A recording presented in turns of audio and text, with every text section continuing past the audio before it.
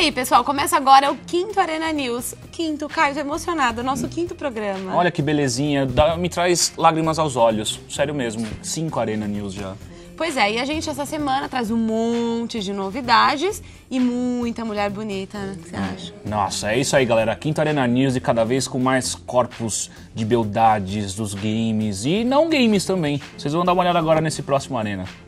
Bom, e os nerds vão à loucura com as novidades que a gente traz aqui. Bayonetta, que é um jogo do mesmo produtor de Devil May Cry, traz uma heroína bastante ousada. A heroína, a armadura dela são os próprios cabelos, só que tem um detalhe aí, ela não tem roupa nenhuma por baixo. Então, a cada movimento, a cada golpe, bom, sabe lá Deus o que você vai conseguir ver, né? Alguma Ah, vai conseguir ver inteiro, muito legal, viu? Não, na verdade não, porque provavelmente o pessoal vai ter que cortar essas cenas mais calientes, porque senão nenhum menino de 13 anos vai poder comprar o jogo. Pois é, e além de Bayonetta, que é esse jogo aí super ousado, a gente também tem uma outra novidade muito legal.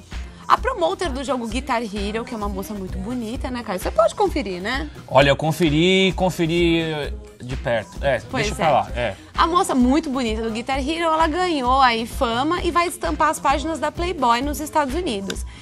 E como não podia ser diferente, ela vai posar com a guitarrinha do Guitar Hero, é óbvio. Mas tem mais novidade aí de mulheres ser o seu forte. A gente tem também uma coleção de lingerie do Pac-Man. Gente, você já viu uma coisa dessa? Ai, não, mas depois que a gente viu essa coleção, olha, gente. Namorados, ó, façam um favor pros seus namorados e comprem, sabe? Eles vão gostar, eu garanto. Pois é, o conjunto pode ser comprado numa loja online e pode ser usado, quem sabe, agora no Halloween. Bom, a gente tá aí em semana de Dia das Bruxas, não é mesmo?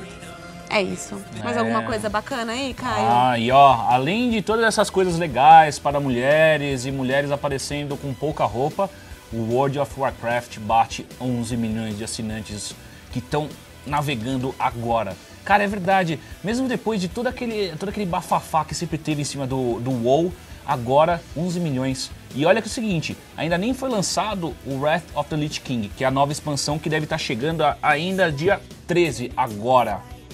Impressionante, você acredita? Deve- Não, é impressionante 11 milhões? mesmo. Nossa. 11 milhões é gente não acaba mais, né? Ó, é, muita, é muita gente. E o seguinte, ele também já foi considerado o jogo mais vendido de 2007, o- a última expansão que saiu do, do World of Warcraft.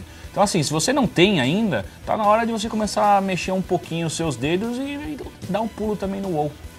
Bom, e saindo dos PCs invadindo os consoles, a gente chega agora com um jogo do Justiceiro, The Punisher. Quem jogou no Play 2 lembra que era sangue, violência, era uma coisa maluca, tortura, você lembra, cara? Lembro que até teve uma certa polêmica nas cenas de tortura que você tinha que fazer contra os seus inimigos pra conseguir as informações do game e tal. Pois é, agora parece que não vai ser tão violento, mas de qualquer maneira a gente tem uma coisa muito legal nesse jogo, que é a participação de um cartunista brasileiro. O nome dele é Mike Deodato Jr. e provavelmente você que gosta de quadrinhos deve conhecer. Ele já desenhou a Mulher Maravilha, a Electra e ele é um dos brasileiros mais reconhecidos fora do Brasil. Ele está fazendo as cenas de transição, mas ao contrário do que todo mundo imagina, o Mike disse a alguns sites internacionais que assim, o forte dele não é jogar videogame. O forte dele é os quadrinhos mesmo. Estranho, né? Ah, né? E ele desenhou, desenhou o Wolverine também, que eu lembro que eu já li. Pois é. Revistinhas cara é reconhecido. É, galera, e no Canadá as pessoas estão tendo alguns problemas com videogames e desaparecimentos. Pois é, agora um menino de 15 anos já está desaparecido há mais ou menos uns dois, umas duas semanas e a polícia de Ontário, lá no Canadá, pediu ajuda para a Microsoft. Nossa, ajuda pra Microsoft, garoto desaparecido. Não, é, então, hein? porque é o seguinte, o rapazinho, tadinho, foi proibido de jogar Call of Duty 4 pelos pais, porque falavam que ele era muito viciado no jogo, e ele fugiu junto com um videogame, pegou o Xbox, botou na mochila e foi embora. E agora a Microsoft colocou um anúncio na Xbox Live que qualquer pessoa que tiver uma informação a respeito do paradeiro do rapazinho vai ganhar 25 mil dólares assim, de boa.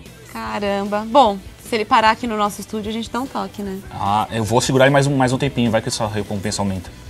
Bom, gente, o Arena News fica por aqui. Obrigado pela sua audiência, por passar mais uns momentinhos com a gente. Se você quiser ficar por dentro de tudo que está acontecendo, garotas bonitas, meninos fugi- fugitivos, você pode acessar o www.arenaturbo.com.br. A gente está lá esperando você, ok? É isso aí, galera. Fica por aqui mais um Arena News e a gente aguarda a sua próxima visita aqui pra gente, ok? Um abraço e até a próxima. Tchau.